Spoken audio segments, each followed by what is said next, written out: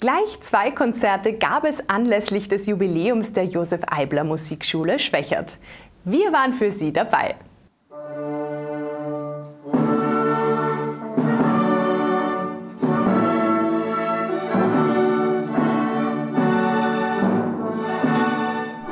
Josef Eibler Musikschule in Schwächert wurde im Jahr 1963 gegründet und hat nun bereits 60 Jahre erfolgreich ihren Beitrag zur musikalischen Bildung geleistet.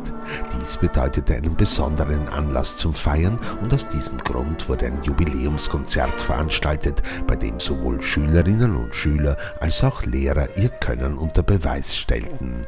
Ein vielfältiges Programm erwartete die zahlreichen Besucher, die den vollbesetzten Turnsaal der Bertha von Suttner Schule füllten.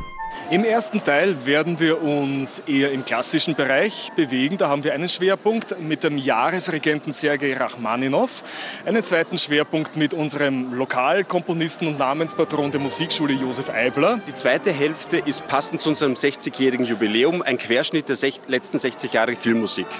Vor ungefähr einem Jahr begannen die Vorbereitungen für den Abend. In dieser Zeit trat auch der neue Direktor Andreas Pesel sein Amt an. Für mich war es ein Novum, also ich hatte noch keinerlei Erfahrung in der Organisation einer so großen Veranstaltung. Und wir haben sehr, sehr im Team gearbeitet, alles gemeinsam entschieden. Auch die Stückauswahl wurde im Team äh, getroffen. Und ja, es war äußerst spannend und arbeitsintensiv. Mit diesem Orchester haben wir die äh, Arbeit nach dem Leiterwechsel letztes Schuljahr aufgenommen, hatten eine sehr intensive Probephase vergangenes Frühjahr und haben jetzt im Herbst die Stücke noch einmal aufgefrischt, damit wir hoffentlich ein schönes Jubiläumskonzert spielen können. René, welches Instrument spielst du? Ich spiele Geige. Heuer bei den ersten Violinen das erste Mal.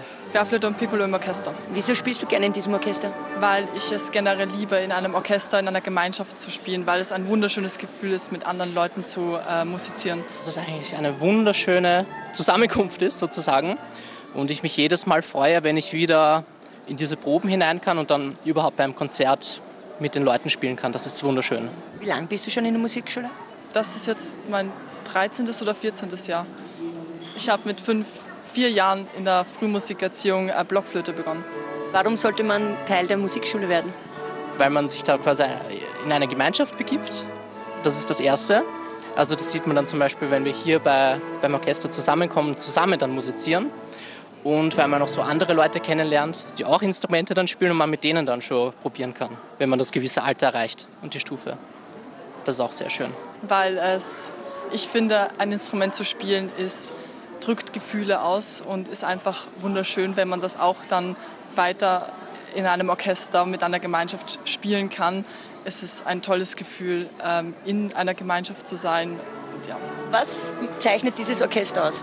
Dieses Orchester zeichnet aus, dass man mit einer Mischung aus vielen, vielen aktiven Musikschülerinnen und Schülern, aber auch Gastmusikerinnen und Gastmusikern aus Schwächert und Umgebung und auch mit aktiven und sogar pensionierten Lehrkräften gemeinsam nicht nur Orchesterbearbeitungen, sondern auch Originalliteratur spielen kann. Also zum Beispiel ein Stück, das wir spielen werden, Hymn to the Fallen. Da spielen wir die Original-Filmmusikpartitur von John Williams und das ist für ein Musikschulorchester schon etwas Bemerkenswertes. Was wünschen Sie sich für die kommenden Jahre für die Musikschule? Ich wünsche mir eine gesunde, lebendige Musikschule, die einfach Teil der Stadtgemeinde ist und dass es einfach zum guten Ton dazu gehört, Musik zu machen.